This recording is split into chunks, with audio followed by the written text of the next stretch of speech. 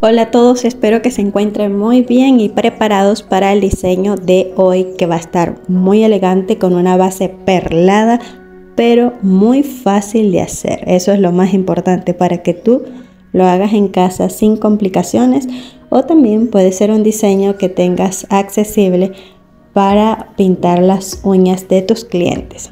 Comenzamos poniendo la base como ya viste y ahora usaremos este blanco Jesus que da un toque perlado o tornasol también. De ese vamos a aplicar dos capas en todas nuestras uñas con mucho cuidado. Si no te gusta el color perlado, puedes optar por buscar una base natural para el diseño. Vamos colocando muy bien ya nuestra última uña del dedo pulgar. Y lo siguiente será usar este blanco extremo de Roder porque vamos a estar haciendo un francés en B.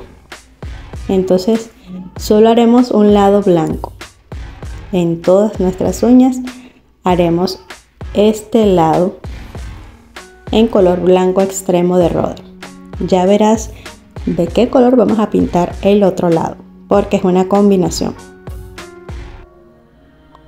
Muy bien, hacemos con mucho cuidado. Esta uña la tengo corta, entonces por eso me queda así. Metal es el siguiente color con el que vamos a combinar. De este tenemos que aplicar unas dos capas porque no queda muy bien definido el color con una sola. Entonces aquí te voy a mostrar una sola capa, pero yo voy a colocar dos o hasta tres para que resalte este color metal.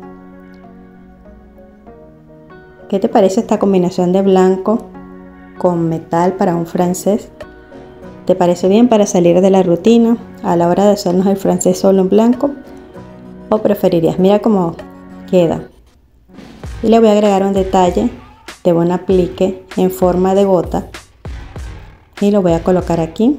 Primero colocamos un poquito de gel para pegar o algún tipo de pega y pegamos nuestro aplique en forma de gota. Si tú quieres eh, dejarlo sin aplique, también luce muy bien en la manicura. Y una vez que hemos hecho esto, sellamos nuestro diseño.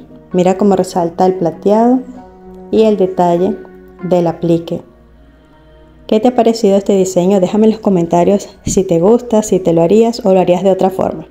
Espero que sí te haya gustado y nos vemos en un próximo video con un próximo diseño. Chao, chao.